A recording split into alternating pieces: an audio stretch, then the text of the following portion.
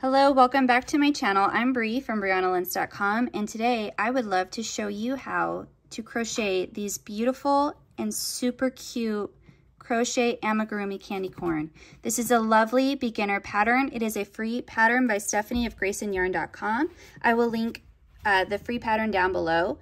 And I just, I couldn't wait to show this to you guys because I have been asked to do some beginner amigurumi projects and this is, to me, a perfect pattern. So go ahead and get your yarn. I'm using Red Heart yarn. I will have everything linked down below to get your supplies and let's go ahead and get started. In today's video, I'm going to be showing you how to crochet this free pattern and I'm also uh, yeah, I'm going to show you how to crochet this really simple candy corn and let's go ahead and get started.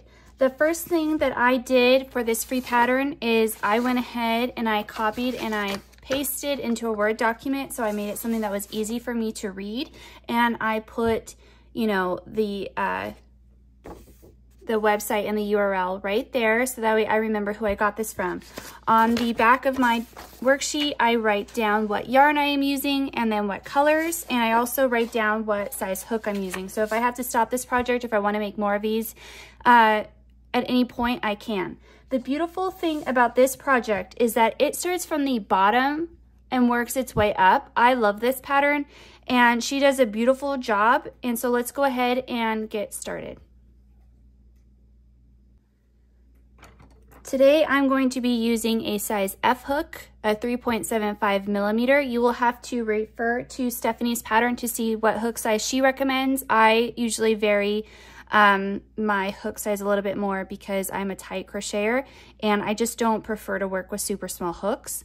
I'm not going to be revealing anything in this pattern as usual. I just think this is a fantastic pattern for a beginner in amigurumi. So I'm going to go ahead and just kind of uh, have this be a visual place for you to watch how I do this without revealing anything from her free pattern, which uh, if you do want to follow along, make sure you go over to Stephanie's website and uh, copy and paste like I did. And let's go ahead and get started.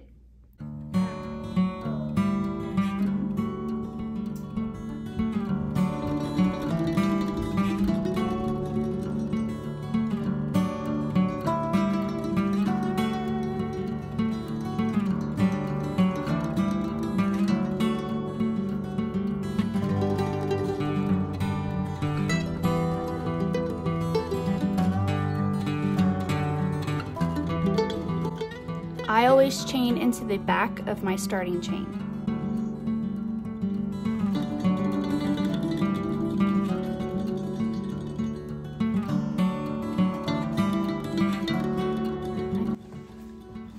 All right, so I always crochet into the back of my starting chain and I always, no matter what, I always uh, mark my first stitch. This just helps me have a point of, did I count right? What it, am I am I going forward? Because if I mess up on the beginning row, I mean, I could do a lot of work and find out later I did a lot of mistakes. So this is just kind of an assurance policy for me. I don't think you get any rewards for not using a stitch marker, but you do you. So I'm gonna go ahead and work my way across.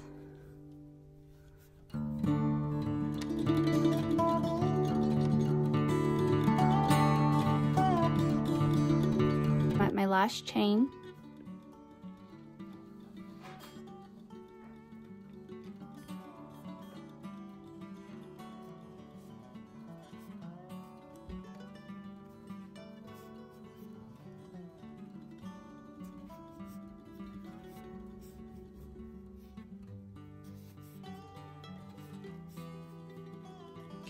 Now I'm going to make my way around the other side.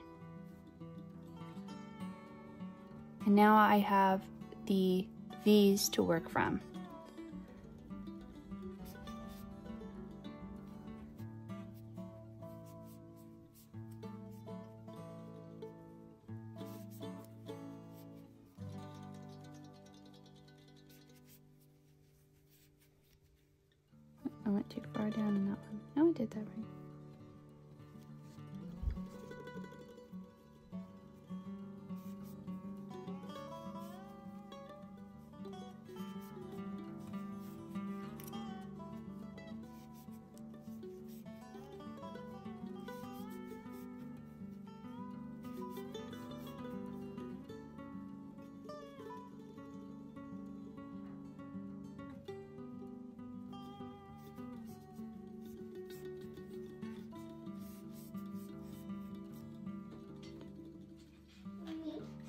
Um, hold on.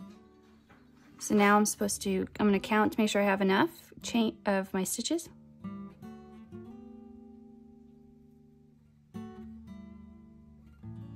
And I do, I have the correct number of stitches, so now I can go ahead and start two and uh, round two, and this is going to be the base of my bottom. And so now you should be able to work across um, around because you have your perfect round starting point.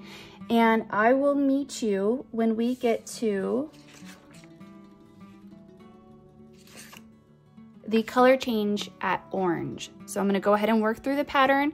I think that you, uh, even as a beginner amigurumi, uh, if you understand crochet, you'll be able to go ahead and go through to orange. And I wanna show you the invisible uh, color change that she does so well in her pattern.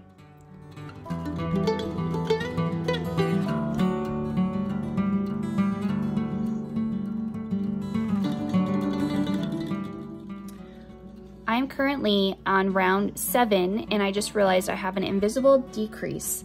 So I wanna show you how to do that. It's really simple.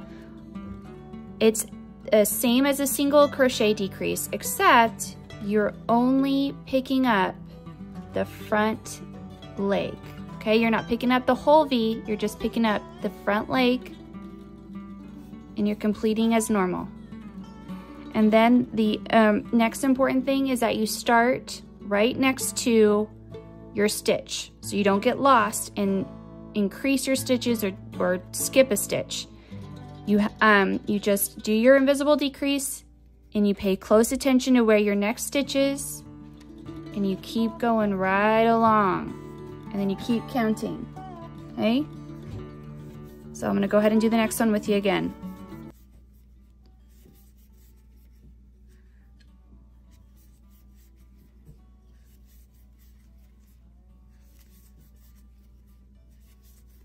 Okay, so here's another one.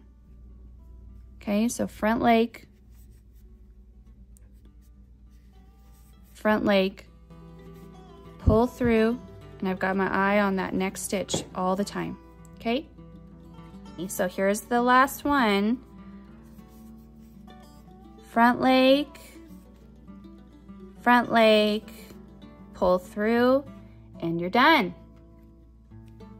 Okay, see, it's not so bad. So we are at the point now where we are ready to change colors to orange. I just finished round eight. Okay, I have the right number of stitches. Always good to double check before you do a color change or you move on to a next point that you make sure you have the right number of stitches on your round. It doesn't take long. Um, so yeah, um, you can weave this in for these. I'm not going to. I usually do, but I'm not going to. Um, so I have, oh, that's why I did what I did.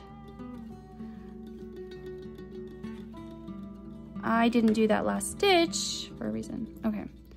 So I'm at the end of my round and I have one stitch remaining. Okay, so I have the correct number of stitches. I've done my counting. I've got one stitch remaining. So here's where we're gonna be working in the last stitch of this round and the beginning stitch of the next round, and this is where the magic happens, okay? I am going to go in and pull up, and I've got two loops, and I'm not gonna finish my single crochet. I'm going to cut my yarn, and I am going to bring in my next color, which is orange. I like to make sure that my loops are taut, not too tight, but just taut. And I am going to finish my stitch with my new color. And a lot of this is practice on keeping your tension and you might have to do it a couple times and that's okay. I'm gonna remove my stitch marker and here I am going to insert my hook. Okay, I'm inserting my hook and I am going to slip stitch loosely so I can work through it. And I'm gonna immediately put my stitch marker back because this is the beginning of my round. This is single crochet number one. Helps if I do it correctly. And when I come back to do round 10, this is my first stitch. Okay, so I like to, you can uh, crochet over your yarn tails, which I, I do often, but I don't want the orange poking through. So I go about four stitches in, and then I immediately come over here. And um, because these are simple bowl fillers, I'm just gonna tie them off. If this were like a stuffed animal that a child would be playing with, then I would be taking more care to weave in my ends and all that jazz. But for the bowl filler, I'm not too concerned. So I'm gonna do a square knot. Clip my tails shorter, and if I wanna, you know, if I wanna cut them shorter later, I can. But because it's just a simple decoration and bowl filler, I'm not too concerned. It's not gonna be getting a whole lot of use, so this is sufficient for me, and it's a nice quick way to have this be such a quick project. So I'm gonna go ahead and continue on through orange. I've already shown you how to do the invisible decreases. And again, I will see you back at the white color change just as a review and uh, we will go from there. Pretty fun project so far. You guys keeping up? I know you can do it.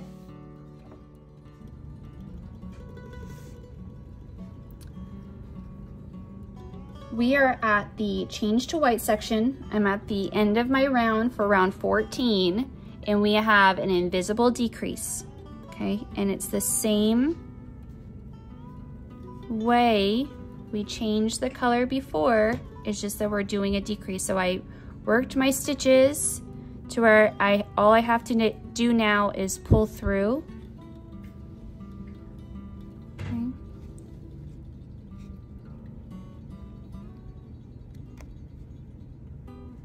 Remove my stitch marker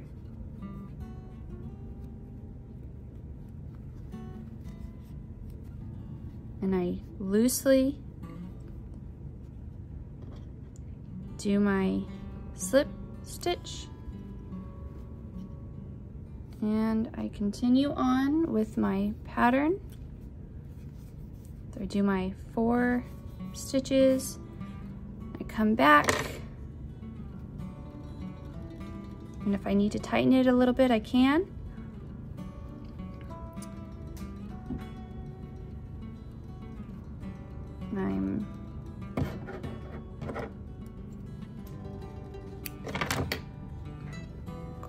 Tie knot and go over the other way to make this one of the strongest knots there is.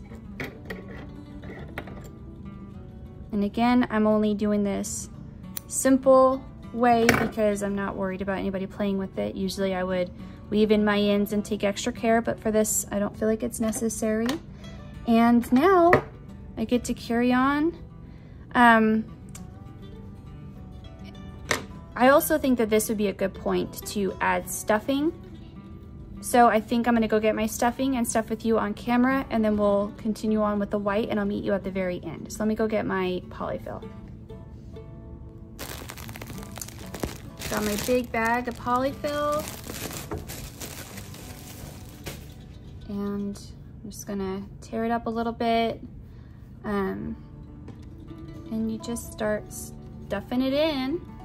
And it's easier to stuff the bottom now because you get really good control of where your stuffing is going the sooner you do it. So this one I went for full but not too bulbous just because I wanted it to be able to be flat. And so that's the kind of same method I'm gonna be doing. This is good for me for right now because I want it to be manageable as I'm crocheting. So I'm gonna keep it about here and I'm gonna continue working around. And I would just like you to notice the color change is a pretty nice color change. I like this method, so keep going. We're almost done, you guys. We're almost done. This is such a quick project. So I'll see you guys um, when we are ready to finish off at the very tip of the candy corn.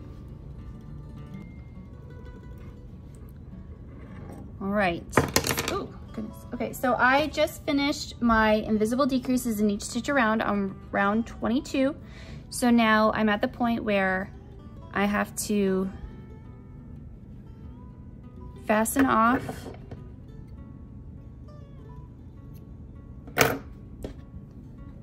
All right. So I have fastened off and this is it. If I want to stuff it at all, then I've got to stuff it now, which I've got my chopstick. I'm using actually the blunt end of my chopstick.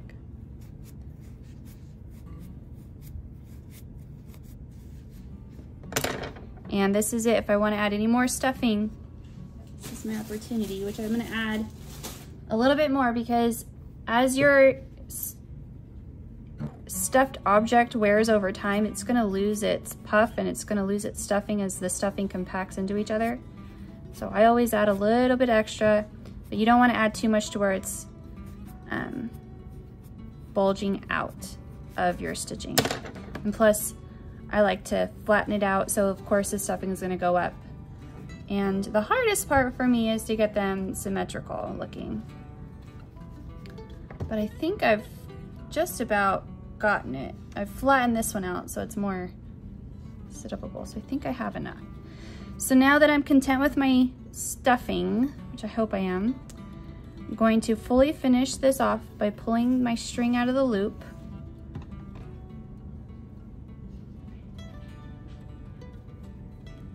Get this on my tapestry needle here. And then you just go through each six. So you go one, two, three, four. You can also just do the front loop, which is really what you probably should have done. Five, but this works just fine too. Six. And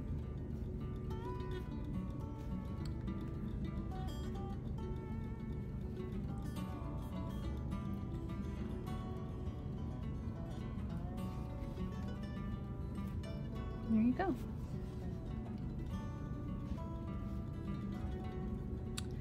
Then I take this back on my needle.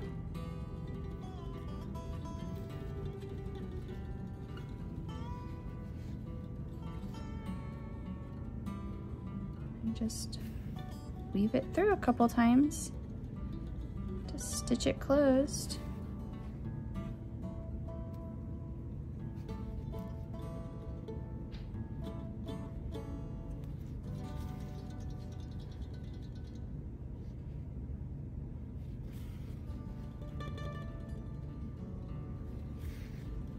Once I'm satisfied, I go through the stuffing and out the white yarn.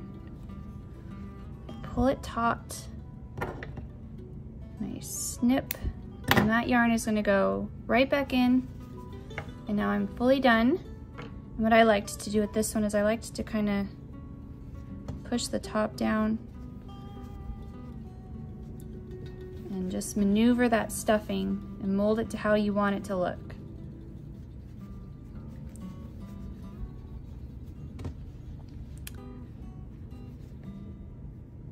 Probably could have put a little bit more stuffing at the top, but that's okay. And I'm gonna flatten it. Working with my stitching and boom I've got two really super cute candy corn. They're the same size, they look good. I've stuffed them about the same. My invisible uh, decreases worked really well. There's no major log, uh, there's no lag between rows. It's practically invisible. If you're a crocheter, you might see it, but otherwise the common eye is not gonna see it. And I think this was great. This is a really great beginner amigurumi project. So here we go, done. Thank you so much for watching, you guys. I hope that you found today's tutorial really helpful, and I hope that you go ahead and make some of these. Honestly, you can make one of these in less than an hour. I love these. Um, please go ahead and make sure you subscribe and get the notification bell so every time I upload a new video because I have a lot of goodies coming up. As you can see, this basket is full of upcoming tutorials. So again, thanks for watching. See you in the next project. Bye.